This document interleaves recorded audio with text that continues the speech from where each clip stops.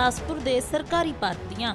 ਇਸ ਸਰਕਾਰੀ ਪਾਰਕ ਦੇ ਵਿੱਚੋਂ ਸ਼ਰਾਰਤੀ ਅਨਸਰਾਂ ਨੇ ਜਿੱਥੇ ਦਰਖਤ ਵੱਢ ਦਿੱਤੇ ਤਾਂ ਉੱਥੇ ਹੀ ਲਾਈਟਾਂ ਅਤੇ ਹੋਰ ਸਰਕਾਰੀ ਪ੍ਰਾਪਰਟੀ ਦਾ ਵੀ ਵੱਡਾ ਨੁਕਸਾਨ ਕਰ ਦਿੱਤਾ।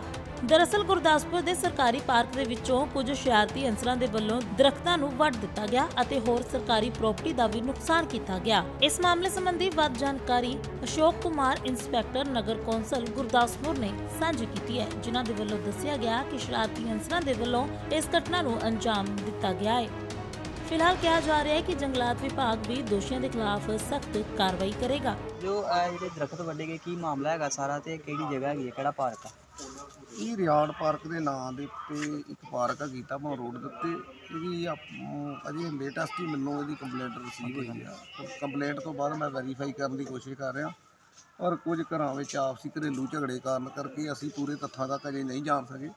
ਪੂਰੀ ਸ਼ਨਾਖਤ ਕਰਨ ਉਪਰੰਤ ਅਸੀਂ ਜਿਹੜੀ ਹੈ ਲੋੜੀਂਦੀ ਕਾਰਵਾਈ ਜਿਹੜੀ ਹੈ ਕਰਾਂਗੇ। ਇਸ ਤੋਂ ਇਲਾਵਾ ਅਸੀਂ ਵਣ ਵਿਭਾਗ ਨਾਲ ਤਾਲਮੇਲ ਕਰਕੇ ਜਿੱਥੇ ਕਿਤੇ ਕੋਈ ਫਾਲਟ ਨਜ਼ਰ ਆਊਗਾ ਉਹਦੇ ਮੁਤਾਬਕ ਜਿਹੜੀ ਪੰਜਾਬ ਐਸਪਰ ਐਕਟ ਮੁਤਾਬਕ ਕਾਰਵਾਈ ਕੀਤੀ ਜਾਊਗੀ ਕੀ ਨੁਕਸਾਨ ਕੀ ਹੈ ਦਰਖਤ ਵੱਡੇ ਜਾਂ ਹੋਰ ਵੀ ਕੋਈ? ਵਿੱਚ ਨੁਕਸਾਨ ਜ਼ਿਆਦਾਤਰ ਇੱਕ ਦੋ ਪੋਲ ਪਾਲ ਸੀ ਪਰ ਉਹ ਪਹਿਲਾਂ ਹੀ ਉਹਨਾਂ ਦੀ ਕਿਸੇ ਨੇ ਰਿਪੇਅਰ ਕਰਵਾ ਦਿੱਤੀ ਆ। ਰਿਪੇਅਰ ਜਿਹੜੀ ਉਹਦੀ ਕਿਸੇ ਨੇ ਕਰ ਦਿੱਤੀ ਆ। ਪਰ ਅਜੇ ਤੱਕ ਸਾਨੂੰ ਇਹ ਗੱਲ ਨਹੀਂ ਪਤਾ ਲੱਗ ਸਕੀ ਵੀ ਇਹ ਕੌਣ ਆ ਕਿਵੇਂ ਹੋਇਆ ਕਿਉਂ ਹੋਇਆ।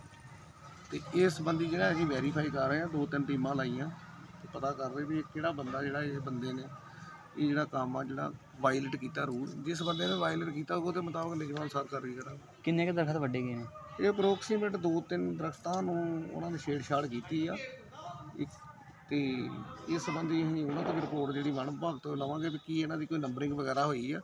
ਜੇ ਨੰਬਰਿੰਗ ਵਗੈਰਾ ਹੋਈ ਆ ਤੇ ਉਹਨੂੰ ਕਿਹੜਾ ਬੰਦਾ ਕਿਉਂ ਕੀਤਾ ਕਿਹਨਾਂ ਹਾਲਾਤਾਂ ਵਿੱਚ ਕੀਤਾ ਇਹਨਾਂ ਸਾਰੇ ਤੱਥਾਂ ਤੋਂ ਵੈਰੀਫਾਈ ਕਰਨ ਉਪਰੰਤ ਜਿਹੜੀ ਕਾਰਵਾਈ ਇਹ ਪਤਾ ਲੱਗ ਸਕਿਆ ਕਿਦੋਂ ਦਾ ਜਿਹੜਾ ਵਾ ਵੱਡੇ ਆ ਅੱਜ ਹੀ ਵੱਡੇ ਜਾਂ ਨਹੀਂ ਨਹੀਂ ਇਹਨਾਂ ਦਾ ਵੈਰੀਫਾਈ ਕਰਨ ਉਪਰੰਤ ਇਹੋ ਪਤਾ ਲੱਗਾ ਵੀ ਇਹਦੀ ਕੋਈ 48 ਕੁ ਘੰਟੇ ਦੀ ਮਿਆਦ ਦੇ ਅੰਦਰ ਅੰਦਰ ਹੋਇਆ। ਜੇਕਰ ਜ਼ਿਆਦਾ ਬਹੁਤ ਟਾਈਮ ਹੁੰਦਾ ਤੇ ਹੁਣ ਤੱਕ ਪੱਤਿਆਂ ਨਾਲ ਆਪਣਾ ਜਿਹੜਾ ਇਹ ਉਹ ਛੱਡ ਦੇਣਾ ਸੀ।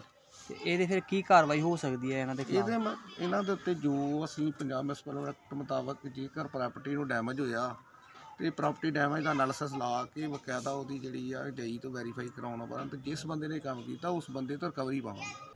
ਬਿਊਰੋ ਰਿਪੋਰਟ, ਅੱਜ ਦੀ ਆਵਾਜ਼।